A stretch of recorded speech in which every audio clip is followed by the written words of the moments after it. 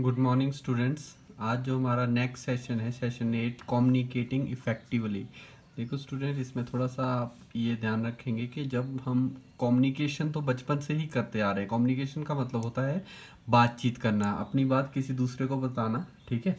But effective communication या communicating effectively का क्या मतलब है? इसका मतलब है कि जब आप किसी से बात कर रहे हो तो जो आप उसको बोल रहे हो, उसका उसके ऊपर कुछ इफ़ेक्ट भी होना चाहिए। अगर आप किसी को किसी बात के लिए कन्विंस कर रहे हैं, जैसे आप किसी को समझा रहे हैं कि ऐसा नहीं, ये काम ऐसा होता है तो अगर आप उससे नॉर्मल कम्युनिकेशन करोगे तो वो उस बात को समझ नहीं पाएगा और आपकी बात मानेगा नहीं। बट अगर आपके अंदर इफ़ेक्टिव कम्युनिकेशन स्किल है तो आप अपनी बात उसे आसानी से मनवा सकते हैं या उसको अपनी बात आसानी से समझा सकते हैं। अभी हम अपना पुराना एग्ज़ाम्पल जो हम सी एस आर पढ़ रहे हैं को कस्टमर सर्विस रिप्रेजेंटेटिव देखो उसे कॉल अटेंड करनी होती है कस्टमर की।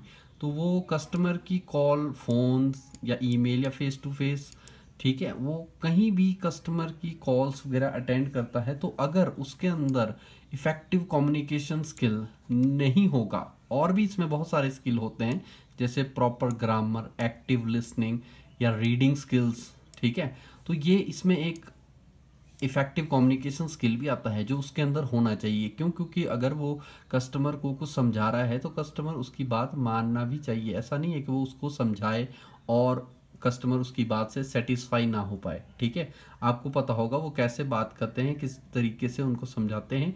इसके लिए उनकी को स्पेशल से एक ट्रेनिंग दी जाती है ठीक है? पंद्रह बीस दिन की उसके बाद ही उन्हें उनकी कॉल अटेंड करने के लिए बिठाया जाता है। तो इसी में ही एक आपके पास आ, मतलब स्किल रहता है जो सी एस आर के अंदर होना चाहिए और वो है effective communication it means effect पढ़ना चाहिए जब भी आप कोई किसी को बात समझा रहे हो, ठीक है?